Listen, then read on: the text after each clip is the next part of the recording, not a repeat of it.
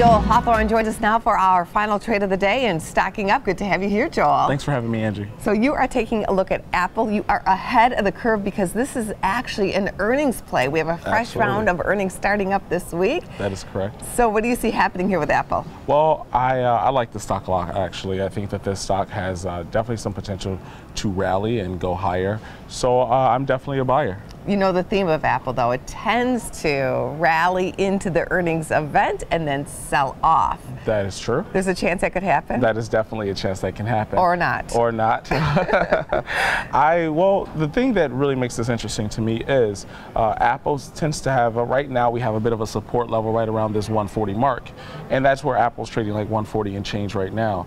Uh, so if this support level can hold, I think that we can definitely see this stock rally, definitely in the in the near term. What would be your option strategy? Uh, I'm a call. I'm buying a call spread here, so I'm buying the 140s and I'm selling the 150s. And again, this is all contingent upon we don't really trade below that 140 mark.